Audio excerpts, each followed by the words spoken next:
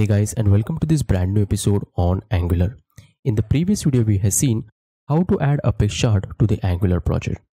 In this video we are going to extend that example and work with the legends. So this is the sample chart that we created in the previous example. How about adding another language to this chart? So I'll just move to the Visual Studio Code and I'll just go back to the app component.ts file you can see that in the series section we have initialized one object. We are going to add another object. So let me just use the curly brackets give a name to it and we are going to name our language as python. And data we are going to again initialize with some random numbers. Okay. Looks good. I'll just save it and let's see what happens on the screen. All right. You can see that there are now two bars getting represented for each of this language and there is also a legend that is getting displayed. So legend is by default available within the chart. We're just going to see in a while how we can customize this particular legend. All right so i'm back into the visual studio code and let me just go back to the app component.html so that we can start defining the legend. The property is legend and we are going to create an attribute inside our app component.ts and we are going to name it as legend itself okay i will just go back to app component.ts let me create a variable which is named as legend and the type of that variable is apex dot apex legend. Okay let me just save it. And we are going to initialize that particular variable. So inside the init method we have this dot legend is equal to now we're going to specify certain options out here let's begin with the position parameter. So we have an attribute called as position. Now by default the legend gets displayed just below the chart. What if we want to place it on the top of the chart? So there is a value called as top. And let me just save all the files to see the effect of our change. You can see that the legend is now getting displayed on the top. We are able to change the position from bottom to the top. How about the horizontal alignment yes even for that we have an option. Let me just type comma and if you just type horizontal align you get various options like whether it can be aligned centered or it has to be left aligned or right aligned. Let's make it left aligned. Save it and go back to the browser. You can see our legend is now getting left aligned. Okay so we are able to display the legend and we are also able to set its position as well as the alignment. But there is one catch over here. If you've seen my video carefully Initially, when we created the chart, there was no legend that was getting displayed on the chart.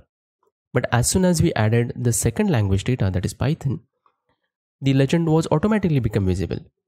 So does it mean that if there is only multiple data series available, only in that case the legend will be available?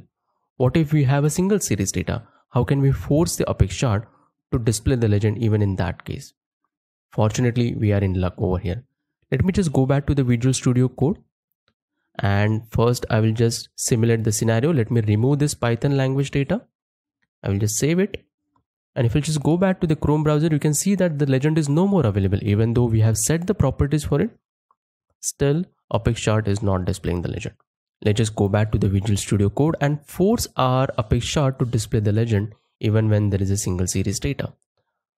So in legend, just add another property called as show for single series and set the value to true. Save it. And if you just go back to the Chrome browser, you can see that our legend has come back. Okay, let me revert that Python language data. So I'll just paste the data that we had. I'm just going to save it.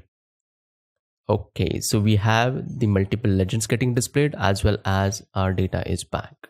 Well, it seems like we have seen most of the properties of legend, but there is one more twist. Yes, it is filled with a lot of twists. What if we remove the legend attribute from the HTML file? What will happen in that case? You might think that the legend won't get displayed, but in this case, if I just remove it and if I go to Chrome browser, the legend is still getting displayed. What if you wish to completely hide the legend? You don't want it at all on the chart. Let's go back to the HTML, revert our legend attribute and we'll just go back to the app component.ts. Now inside this legend object, just go ahead and add another attribute called as show and you can set its value to false. Let's save all the files. I made a mistake. Okay. and this time you'll see that the legend is not getting displayed even though we have set all the properties for the legend just because we had turned off the show to the false the legend is completely invisible let's just bring it back because this whole video is about legend. So I'll just bring it back by typing the value as true. Okay our legend is back. Alright we have seen most of the properties of legend. But what happens when you click on this individual legend items? It is actually toggling the data for the chart. Now this is the default behavior. What if we wish to disable this particular behavior? Again there is an option within the apex chart we'll just go back to the ts file.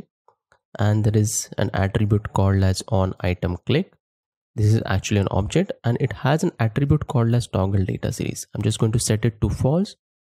And if i just save it and this time if you just start clicking on these items nothing will happen. It is not allowing me to click those items.